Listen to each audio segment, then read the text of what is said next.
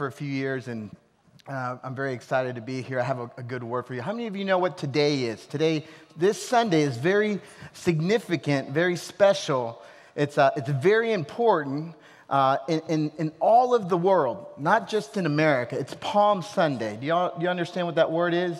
I know some of y'all have been coming to church on understand that, but there's people that are just coming to the Lord for the, you know, just new. Maybe you're visiting today, but Palm Sunday is very important. I just want you to understand um, why this is so uh, significant with what God is doing in your life today. Is, uh, is this is a, a, triumphal entry for Jesus when uh, right before he goes. Next week is what? Yeah. How many of you know it's not about the bunny?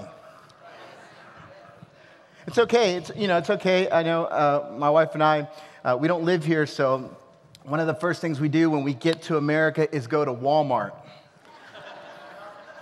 Because when uh, we come to Walmart, uh, we see whatever is happening in America because Walmart usually, you know, has the products and stuff like that. Just real quick, I just want to identify a few people. I just want to say, Mami, buenos días, ¿cómo estás? Gracias por estar acá esta mañana. Vic, thank you for coming. Any other friends? Michael, I know I see you over there, and many other friends that are here and, and visiting. Uh, thank y'all for being here uh, today and, and sharing this time. But Pastor Robert has been in a series called Serial, or sorry, uh, Silent Killers. How many of y'all have been uh, hearing the messages every week? Silent killer? Not serial killer. Sorry. y'all can take that out. Silent killer but it's like a serial killer, right? Silent killer. Silent killers. And um, so we've identified some things uh, that just creeps in, that tries to come in, and, and we don't really see it, right? We don't see the symptoms, we don't see it, but in the end, it causes something to die. And so today I just want to share with you there's another silent killer I want y'all to understand. And if you're taking notes, this would be a good place to take notes. The next, ser- uh, the next silent killer is complacency. Say it with me complacency. complacency. We have allowed the comforts of complacency, complacency to creep in our lives. Complacency, being comfortable. Is everyone comfortable this morning? Yeah, okay, good. We like to be comfortable, right? You know, I have the privilege of, of being in Peru, and, and uh, I've been invited, and, I've, I, and when Pastor Robert or our team comes, I invite them to go to different parts of, of, our, of our region uh, so that they can get out of their comfort zone. And sometimes we're in some environments that are very hot. It's always hot in Buda, but there's some places where it's very hot. And, uh, and I've preached in some places where I'm sweating and everyone else is just normal, but I'm the one like, oh my goodness, everything is, it's just turning into water around me because it's so hot and it makes me uncomfortable. But in America, I think there are certain things that happen in our lives. Um, I'm a, I would like to say I'm a first generation immigrant. Many of you are maybe the same thing, where your parents or, or you, uh, you came to this country and you start working and, and everything just gets, you know, you're, you're all the time doing stuff. And then one day you get that car and you think that is the most important thing I need, I just needed a car so I can get to work and I can make more money. And then one day, you know, you get approved for a loan or whatever's happening and you get a house. And you think, all I want is a house. And I've been praying and praying in God for a house. And then one day, you know, something happens and, you know, I need a boat. And then you get the boat or you get that second car, or you get that Harley, or you get that land, or you get this or that. And then you get it, and then what happens? We become comfortable with what we have. The Bible uses words to describe complacency like lukewarm, stagnant, weary, sluggish, waywardness, lazy, backsliding. Don't raise your hand, but how many of y'all in December were saying, you know, this year I'm to lose 20 pounds?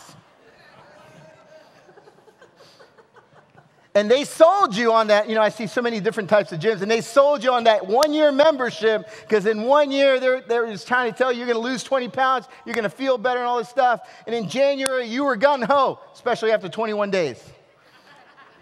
You know, in February, you're like, you know what? I got to take my wife out on a date on Valentine's. So uh, I'm going to take a day off from going out to the gym. You know, we're just going to eat a little bit more cheesecake this time than we used, you know, and then you take another day off. By April, you're probably going one day a week or maybe just stop going altogether. We get complacent. We get stagnant. We get to a level, and it happens in our Christianity where we get so comfortable where where we're at that we really start going backwards. We really start just, you know, looking at other things that we shouldn't be looking at, critiquing other things, being critical about other things we shouldn't be critical about. We begin to uh, look at what they're doing and not what God has called me to do, and we get comfortable. Today, I would just want to tell you is God has called us for more than just be comfortable.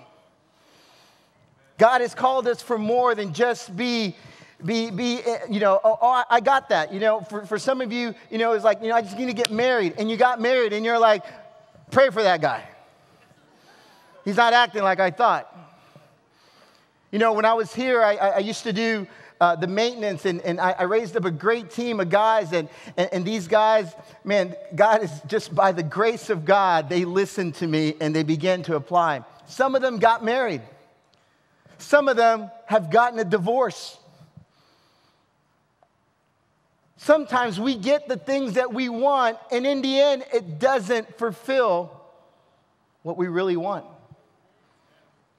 So you need to understand there has to be more because once you get complacent, these are some other things that begin to happen. It leads to self absorption. It's all about me, what I like, how I like it, when I like it.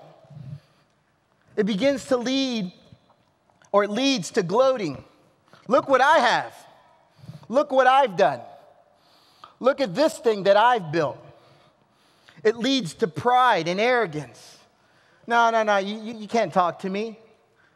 Look what I have accomplished. Some people study their whole lives, go to college and go to university, and that's great, but they make that the thing. And then when they accomplish that thing, they're like, oh my goodness, I can't believe I'm $500,000 in debt. But I at least got the diploma, I at least got this. Some people just try to. I'm telling you right now, someone told me this one time and it really convicted me. He said, How many of y'all have a smartphone? An expensive smartphone? Don't raise your hand. Don't raise your hand. You know, one that costs like $800 or more, a thousand, $1,500. And he said, Hey, if you don't have the same amount of money that you spent on your phone in the bank, you don't need that phone. Tell your neighbor, I don't know if he's talking to you. Because I'm telling you, when you go to the doctor and you got to pay that bill, they're not going to go, hey, can I pay you with my phone? you know? Or the light, light company, they don't receive phones as payment, right? We get complacent. See, the Bible talks about complacency as something negative because he knows he's called us with a purpose. All of us have a purpose, all of us have where we need to be going. When we understand that purpose, we begin to do it in a way that impacts many people. I'm going to take y'all now in the Bible. There's, I love this, this time of the year because it talks about Jesus coming into Jerusalem. He was at the Mount of Olives. He had been doing many miracles, but somehow it all comes together for this week. This week is so important. For the believer and the unbeliever, this week is so important. This week is an opportunity for every one of you to do something. And I've learned, and I, I, keep hearing statistics about people saying if you invite someone to church this week for this next Sunday, there's a higher probability that they will come more than any other day of the year. So the Bible talks about the triumphal entry, and for, uh, for time's sake, because look, I only have like 10 minutes left. If you look at Matthew, if you look at Luke, you look at Mark, you look at John, you understand that every single one of these gospels talks about this because this is so important. There are different stories in the gospels that don't necessarily are in different gospels, but this is so important that God places it in your Bible to understand your responsibility. I just want to take you now to Matthew chapter 21, verse 7 and 8. So, just to give you an idea, Jesus had been preaching, had been teaching. You know, his brothers at one time said, Hey, Jesus, you should go. It's time for you to go to Jerusalem. And he kept telling them, Right now is not my time. Right now is not my time. Right now is not my time. People want to say, No, you're going to be famous. Right now is not my time. But this week, say it with me, it was his time. So every one of these gospels in Matthew 21, Mark 11, Luke 19, John 12, it all talks about Jesus' triumphal entry. And I just want to take you to the part, and it's probably not on the screen, but it says, As Jesus' disciples approached Jerusalem, they came to the town of Bethphage of the Mount of Olives. Jesus sent two of them on ahead. Go into the village over there, he said. As soon as you enter it, you will see a donkey tied there with a colt beside it. Untie them and bring them to me. If anyone asks what you are doing, just say, The Lord needs them, and he will immediately let you take them. This took place to fulfill the prophecy that said, Tell the people of Jerusalem, look, your king is coming to you. He is humble, riding on a donkey, riding on a donkey's colt. All of this has significance. All of this has is important to know because when he comes in on a donkey, he comes in on a colt, he means that he's bringing peace. Means that he's coming from a point of victory. Everything that Jesus does is from a point of victory. Amen? So if God begins to stir something up in you and you're like, God, how are we going to do that? I don't have, and you start telling him all the stuff you don't have, let me help you out. Jesus always starts something from a point of victory. He's seated on the high place and can see the whole thing, and he's always directing us to good things. The disciple, uh, verse 6 says, the two disciples did as Jesus commanded. They brought the donkey and the colt to him, threw their garments over the colt, and he sat on it. Most of the crowd spread their garments on the road ahead of him, and others cut branches from the trees and spread them on the road. Jesus was in the center of the procession, and the people around him were shouting, Praise God for the Son of David. Blessings on the one who comes in the name of the Lord. Praise God in the highest heaven. Let's pray. Father, in Jesus' name, God, we we've already had such a worship experience, God. We've already dedicated these babies and their families, God. I thank you that your word comes forth today and people are transformed. I pray that there's someone in here that needs to be saved, that they get saved today. And there's many more people, God, that get engaged in what you're doing. In Jesus' name, amen. So there's something that happens when these disciples began to put their coats on this donkey, on this colt. Let me help you understand that this is always a sign of respect, honor, and submission. When we lay down our coats, we're honoring, we're submitting, we're saying, that's the leader. We are laying down ourselves before him. So many times we want Jesus to lay down his life for me and what I'm doing.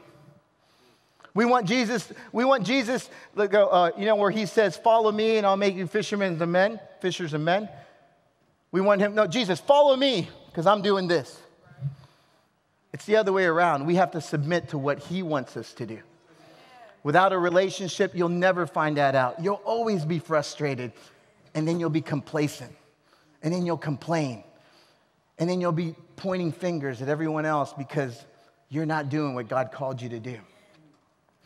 What I like is it first started with the disciples. Everything that Jesus did didn't start with big crowds, He trained few, He had few around Him.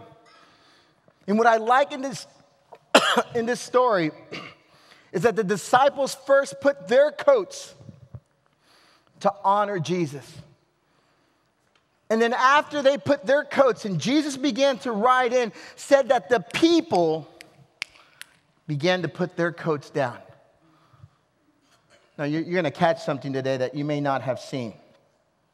Purpose identified is contagious. Uh, when you're when you understand your purpose, when you understand what God has done in your life, when you understand where you're going, it's contagious. People want to know. People want to come around. What, why? Why are you so passionate about what you do? Why do you keep doing this? Why do you keep going to the community? We already went to the community, Pastor Robert. Why do you keep doing that? Why do you keep helping single moms? Aren't they going to stop? If you don't do anything, they may not.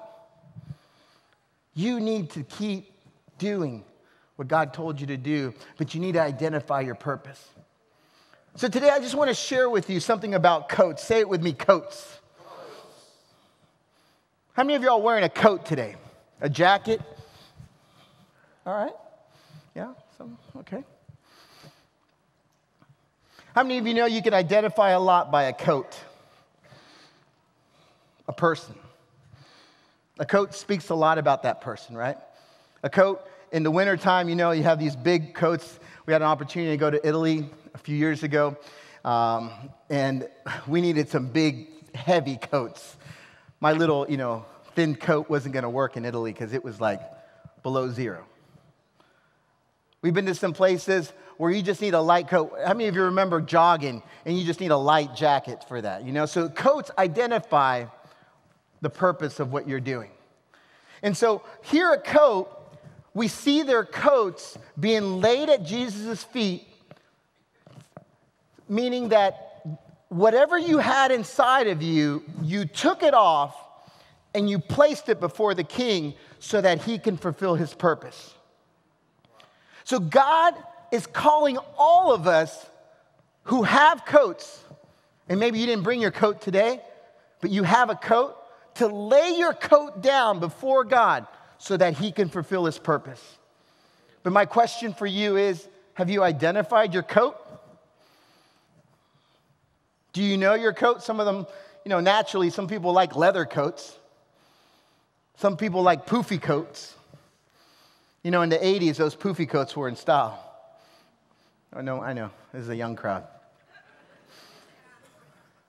You know, now the, what's in style is, are these big hoodies, right?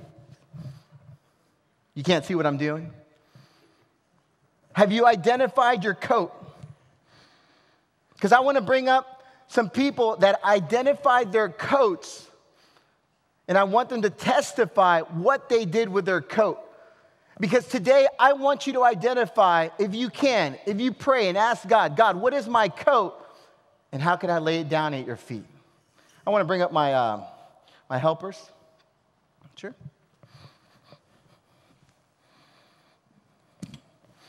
So I just, I just want to give you three points today on coats. What is your coat? I can stand right here.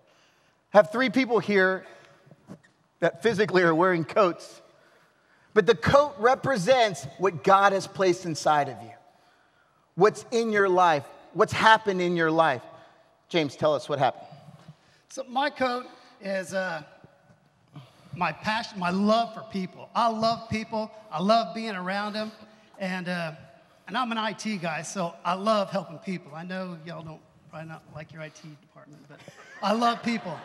And so uh, it's what I love to do. And about 10 years ago, I lived in a bar. I was in a bar Monday night, Tuesday night, Wednesday night, Thursday night, Friday night, Saturday night, Sunday night. And so I loved it because there was a bunch of people there. And so uh, it's just what I did. You know, if I had something to do, I would just go to the bar right after, you know, and then I'd go home. But, and then in 2011, I learned how to dance because my father, daughter danced, you know, at the wedding. And so uh, it became my passion. I was like, come on, everybody, let's go dance, you know, and I took dance lessons. I was passionate about it for three years. And so, but, you know, and that was my passion, is just being around people. And so, but when I, when I came to Powerhouse Church, that passion still was in me to be with people. And so at Powerhouse Church, you know, most of you know me because I work in Champion Center on, you know, on some Sundays. And uh, another thing that I have the opportunity to do is uh, on Monday, I'm part of the Keys Mentor Program at Hutzel uh, Elementary. And uh, Tuesday, uh, I love going to the prison. And it, it's just a blast, it's a blessing to me. And Wednesday, I mentor some young men in puppet ministry before Man Church. And Thursday, I have the opportunity to go to the jail. And that's just as awesome. And then Friday, before I go to prayer, I mentor two other men, two young boys, uh, before I go to prayer. And so my passion is people. Amen. I love people. Amen. Amen. Hey, let's give James a hand clap. So, so what did you do, James? So James learned to lay down his coat before the king. Where he, God, you know, Dr. Cole, I love what Dr. Cole says. He says, God doesn't kill your ego, God sanctifies it. So God doesn't kill your passion. God doesn't kill the purpose, the things, the gifts He's put inside of you. God sanctifies them. And so that's one of your coats is your gifts and your passions. Have you laid it down before the king so that he can fulfill his purpose? You know, he went from going to the bar and now he's going into the schools and he's going to the prisons. God's doing some incredible things. And I just want you to hear that. You have gifts, you have passions that God wants to use to impact other people. Amen? What about you, Joe? Well, for me, my code is uh, life experience. And, uh, you know, growing up, I grew up in a real old school Hispanic home. Some of you might know what I'm talking about. It's real machismo, and that's the way I was raised, and that's what I had imparted into me. It was, you know, as a man, you wore the pants, you did what you wanted, when you wanted, how you wanted, no questions asked. There was no, comp- no compromise, it was a dictatorship. And there was no biblical manhood in my house, it was just manhood, and it was worldly manhood.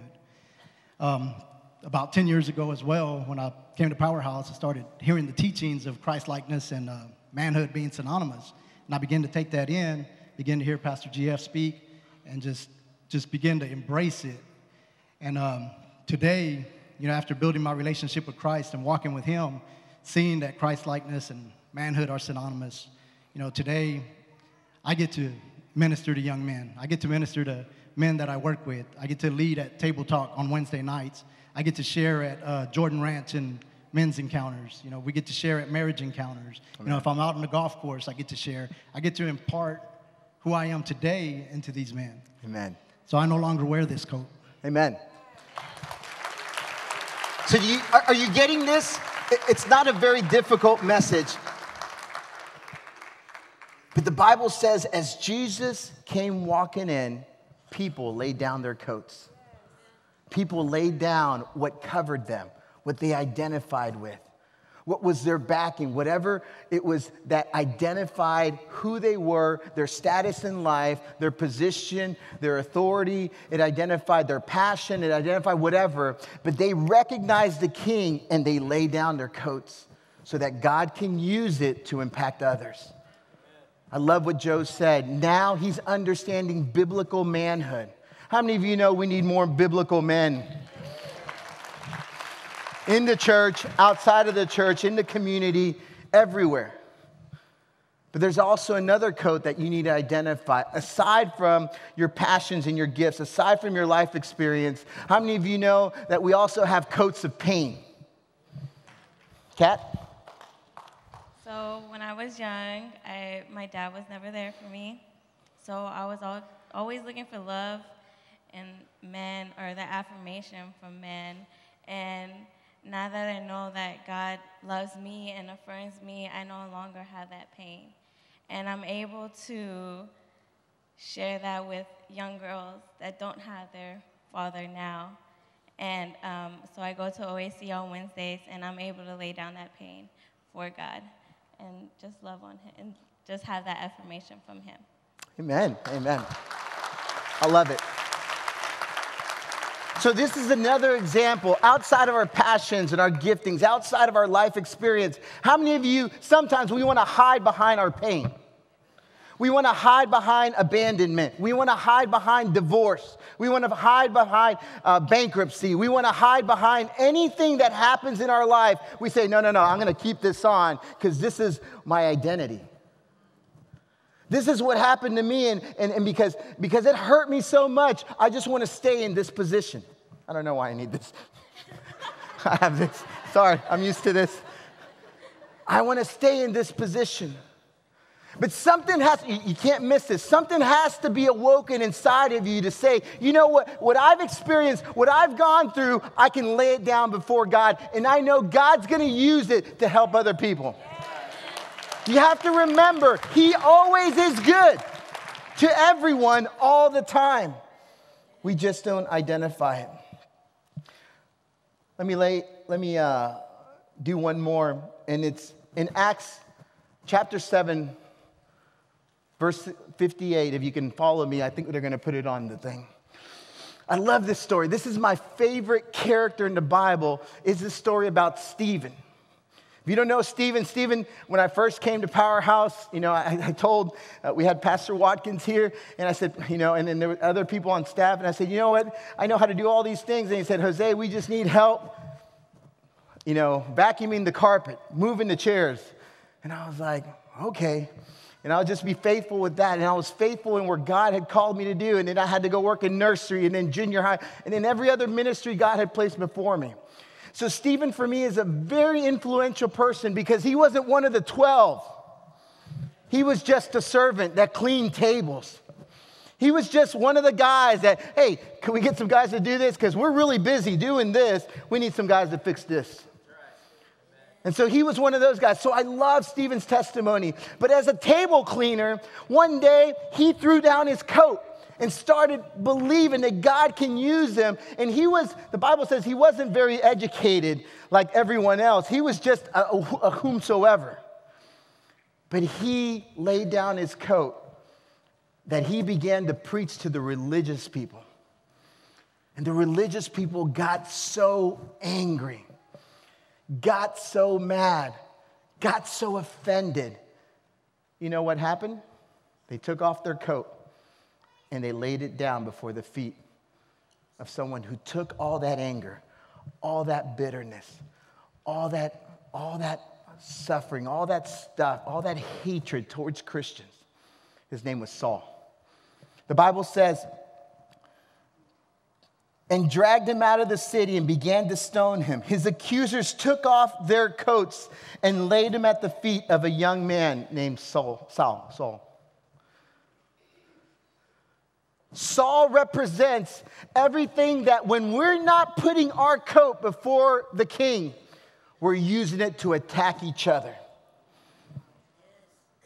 when we're not putting our coats before the king that can bless generations, that can help single moms, that can help countries and many other places, we're using it for wrong purposes. When these religious leaders that were so full of hatred laid down their coats to Saul, it just became more ammunition to attack others. Friends, I just want to tell you sometimes as believers, when we're not doing what God called us to do in laying down our coats, we begin to get bitter.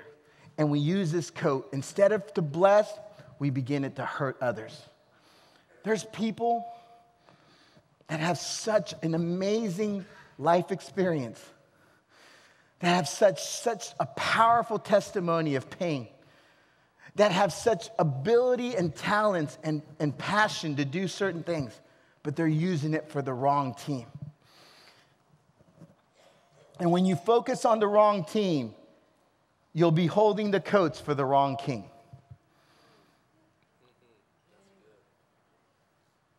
Because it's us, it's complacency. I don't know if you know the story of Saul, but Saul was a man that was a Christian killer. he persecuted. He, he did not want them to live. But the Bible says that this happened right before his conversion.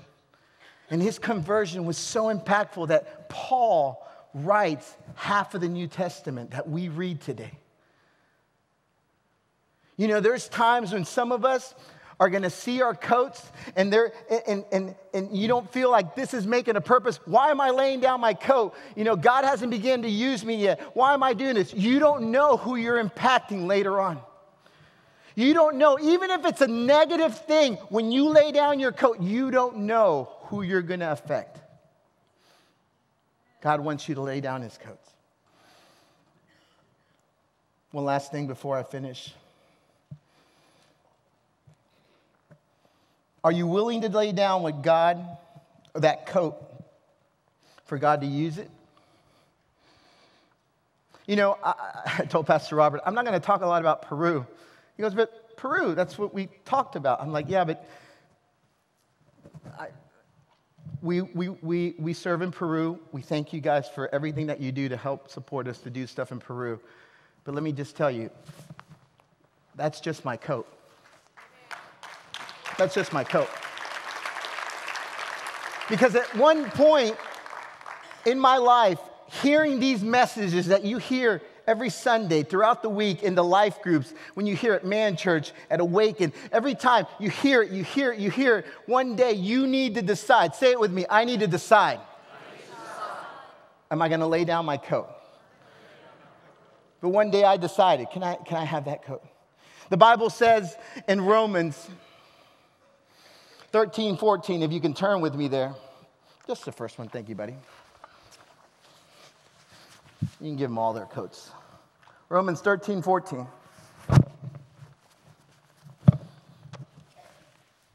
The Bible says in Romans 13, 14 says, Instead, clothe yourselves with the presence of the Lord Jesus Christ, and don't let yourself think about ways to indulge in evil desires. One day, when I was serving here, God said, Hey, you've been faithful with this. Now I'm putting a burden with everything I've put inside of you to go serve another nation. So I said, God, if I already lay down my coat, you're going to give me something that I need. So he put on himself over me. And when the Bible says here, clothe yourself instead with the presence of the Lord Jesus Christ, he gave me a new coat. And he gave these guys a new coat. And every time that you walk into somewhere, whether it's your family, whether it's your work, whether it's your, your hobby, whether it's your church, whether it's your community, everywhere you go, you have a new coat on. Tell somebody next to you, I need a new coat. I need a new coat. Why don't y'all give these people a round of applause? Thank y'all so much.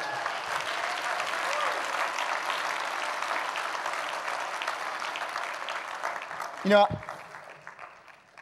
I saw this quote and I said, this is pretty good, I'll use it. Nicholas Murray Butler, um, an educator, really, I think the president of Columbia, Columbia University many years ago, 1931, said, there are, few, there are the few who make things happen, the many more who watch things happen, and the overwhelmingly majority who have no notion of what happens.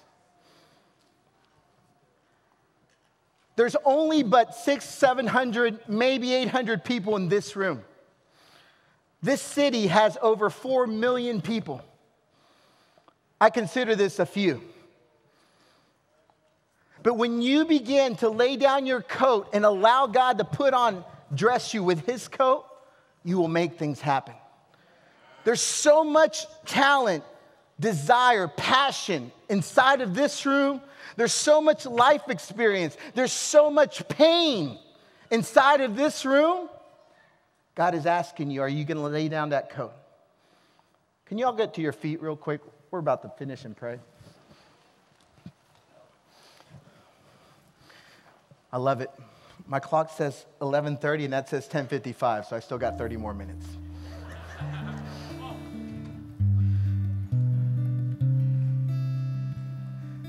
My wife and I encourage my family's here. We're actually leaving uh, this Thursday to start our, our road trip back. Um, and um, this trip has been different for us because Uh, we got here, we go, went to Intense. I went with my sons, and then we went and visited uh, churches and friends from around the country. And, and something that um, kept popping up in every house that we stayed at, we stayed in some beautiful homes, we stayed in some great places, and, and there's this thing called shiplap. Shiplap. Shiplap? Yes? See? Ship, shiplap? No, I don't know how you say it in English, in Spanish. Ship, shiplap. Do, do y'all know? Who does not know what shiplap is? Okay, shiplap is this wood paneling that you use to, uh, it's a new, it's a, it's a thing to decorate homes. And, and I was, I, I've been in Peru for nine years. Uh, and I come back and I didn't notice this. And we're talking about silent killers, complacency. But every house that I stayed in, and you know, we, we raised up some, some great friends, and, and now they're doing great and stuff. And everyone they were showing me, and like, you know, we put some shiplap here and ship, and then their houses look amazing, beautiful. But this this trend, this this current kept uh, uh, just popping up, and I'm like, is and I asked my wife, is is that mean you made it? When your house has shiplap, that means you made it? Does that mean you, you, you, you're at the top of your Christianity when your house, hey, we put some shiplap? I know I'm being funny, but say it with me complacency. If we think something by somebody naturally, man made, is going to be the top of our Christianity, I think we missed it. Because one day shiplap's going to be like that old paneling in the 80s and you're like, oh my goodness, what were we thinking? Linoleum, you know, that wallpaper. Please, if I offend anyone, I meant to do it, okay? I just want to let y'all know. Just let me help you understand. Are you going to lay down your coat for God? Just close your eyes for a moment because I, I really feel, and I want to invite the prayer partners Cleve, if you can help me with the prayer partners. But there's people in this room, and, and, and, you've been, I don't know how long you've been a Christian, but God is speaking to you today, and please don't miss this. There's something inside of you, and it could be painful, and it could be hurtful, and it could be embarrassing, and it could be humiliating. But God is, God is allowing something inside of you so that you could lay it down at His feet. For some of you, y'all have life experience that blows anybody else out of the water, or you you you just experience so many things that you don't even know what you have. And for others, man, I'm telling you, if you could just begin to understand the passion, the creativity that you have inside of you, you would blow everybody out of the water. But today I want to ask you and I want to I want to challenge you. Will you come up here and lay down your coat? Not physically. But you know what I'm talking about. Will you come up here and lay down your coat and say, "Lord, I've been living like this and I didn't know why. I'm ready. I'm ready." I'm not going to say close your eyes, bow your heads. When you're ready, come up to the front. Come on. Come on. Come on. Don't be afraid. Say, "I'm ready. I want to serve." I'm ready. I want to I want to give. I'm ready. I'm ready. Come on. You know what? It just takes one or two, and then another one be like, oh, he's going up. I'm going to go up too. Oh, he's going up. I'm going to go up too. Come on. There's another one. I'm telling you, there's some of y'all that have gotten so complacent. Hey, I'm already the greeter. I'm already working in the nursery. I'm telling you, it's bigger than that. Oh, I'm already on the worship team. No, it's bigger than that. There's more, there's more, there's more. Come on. I just feel there's more. I think there's five people more. I think there's more. No, I really think there's more. I really think there's more because this weekend we had only 200, I don't know how many people went with him to go serve. And there was only 250 people, there's more than 250 people here. I believe there's more because uh, last we haven't filled up the encounter yet, right? And there's only about 60 something slots. There's more people in here that you need to lay down your coat. And today is the day you're going to do it. Today is the day you're saying, you know what? Yeah, I know. Should I go? I don't know. Uh, uh, just tell the devil, I'm just going to lay down my coat today. Come on. Ask God today. If someone next to you if you see someone next to you and you just say, hey, do you need to go? I'll go with you. Ask the person next to you, do you need to go up? I'll go with you. Do you need to go up? I'll go with you.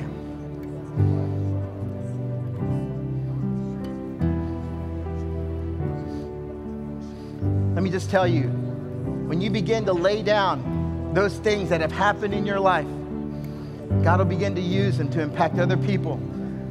There is no, the Bible says, no eye has seen it, no ear has heard it. It doesn't exist yet what God has in store for you except in the heart of God. He wants to do it through you. He wants to manifest it on this earth through you. Will you lay down your coat? Will you lay it down for God? Some of y'all have ministry inside of you.